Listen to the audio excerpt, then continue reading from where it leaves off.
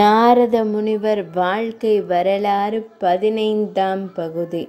நாரத முனிவரே தாங்கள் கூறுவது எனக்கு ஆச்சரியத்தை தருகிறது.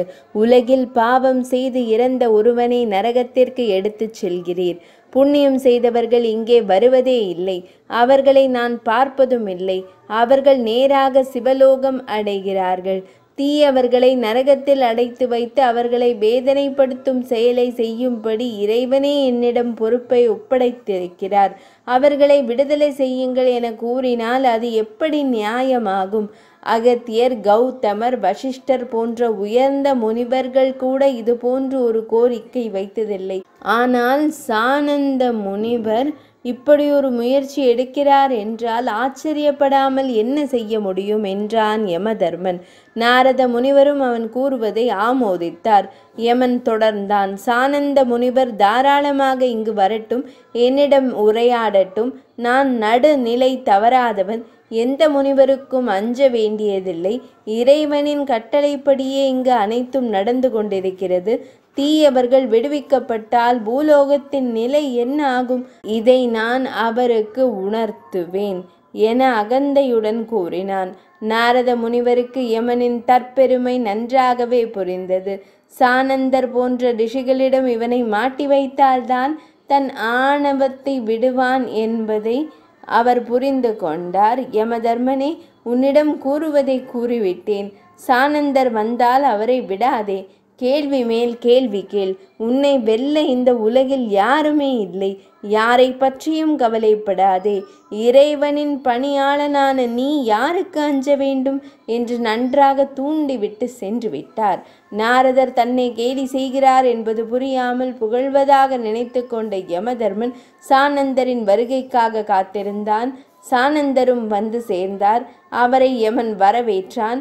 சானந்தர் யமனுடன் நீண்ட நேரமாக பேசிக்கொண்டிருந்தார். அவனை வாழ்த்தினார் பணிகளை பாராட்டினார். அன்பு மிக்கவனே நான் வந்த விஷயம் பற்றி நீ கேட்கவே இல்லையே என்றார். யமனும் மிக பணிவுள்ளவன் போல் நடித்து மகரிஷியே தாங்கள் என்ன காரணமாக இங்கு வந்தீர்கள் என்பதை என்னிடம் விபரமாக கூறுங்கள் என்றார். சானந்தர் அவனிடம் யமதர்மா நான் உன் ஊரை சுற்றி பார்ப்பதற்காக வந்திருக்கிறேன் என்றார். யமதர்மனே அவரை அழைத்துச் சென்றான். சானந்தர் யமலோகத்தை முற்றிலுமாக சுற்றி பார்த்தார். எல்லா இடங்களையும் காட்டிய யமதர்மன் நரகத்தை மட்டும் காட்டவில்லை. அங்கே போக வேண்டும் என சானந்தர் கூறினார். யமன் அவரிடம் முனிவரே தாங்கள் அங்கு செல்ல வேண்டாம். தவத்தில் உயர்ந்த உங்களின் பாதம் அந்த கொடியவர்கள் இருக்கும் இடத்தில் படக்கூடாது. இத்துடன் திரும்பி விடுவோம். அங்கே இருப்பவர்கள் அறச்சிந்தனையே இல்லாதவர்கள் கொலைக்காரர்கள் மிருகத்தனமான செயல்களில் ஈடுபட்டவர்கள். அவர்கள் அருகிலேயே நீங்கள் செல்ல வேண்டாம். அவர்கள் கடவுளை மனதால் கூட நினைக்காதவர்கள்.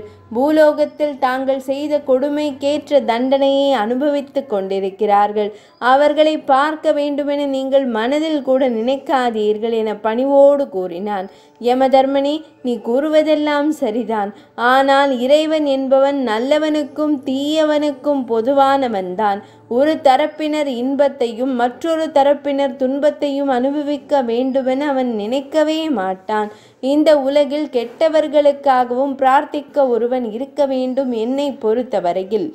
நான் ஒரு சிவபக்தன். நான் அந்த கெட்டவர்களுக்காக நரகத்தில் இருந்தபடியே சிவபெருமானை பிரார்த்திக்க போகிறேன். என்னை நீ அனுமதித்துதான் ஆக வேண்டும் என அடம் பிடித்தார். யமதர்மனோ அவரை அங்கு அனுப்ப மறுத்துவிட்டான். சானந்தர் நரகத்தின் வாசலில் அப்படியே அமர்ந்து விட்டார். தியானத்தில் மூழ்கினார். சிவாய நம என்ற ஐந்தெழுத்து மந்திரத்தை கோடி முறை தியானம் செய்தார். இப்படியும் இந்த உலகில் ஒரு நல்லவரா என அகமகிழ்ந்த சிவபெருமான் யமலோகத்திற்கே வந்துவிட்டார் சானந்தரை எழுப்பி ஆசீர்வதித்தார். யமதர்மன் சிவனின் திருப்பாதங்களில் விழுந்து வணங்கினான்.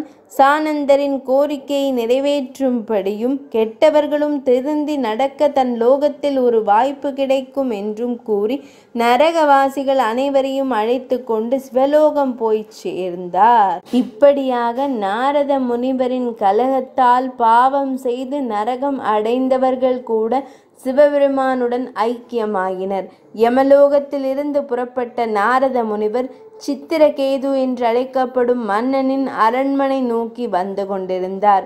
மன்னன் சித்திரகேதுவுக்கு நீண்ட நாளாக குழந்தை இல்லாமல் இருந்தது.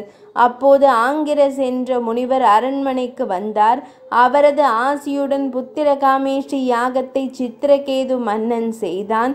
இதன் விளைவாக அவனது மூத்த மனைவி ஹிருதத்ருதி என்பவளுக்கு ஒரு ஆண் குழந்தை பிறந்தது. குழந்தை இல்லாமல் இருந்த காரணத்தால் பல பெண்களை சித்திரகேது திருமணம் செய்திருந்தான். அவர்களுக்கு ஹிருதத்துதி மீது பொறாமை ஏற்பட்டது. தங்களுக்கு குழந்தை இல்லாமல் ஹிருதத்துதிக்கு மட்டும் குழந்தை இருக்கிறதே என்பதே பொறாமைக்கு காரணம். ஒரு நாள் ஹிருதத்துதியின் சக்களத்திகளில் ஒருத்தி யாரும் அறியாமல் குழந்தையை தூக்கி கொண்டு காட்டிற்குள் சென்றாள். பதினைந்தாம் பகுதி நிறைவடைந்தது.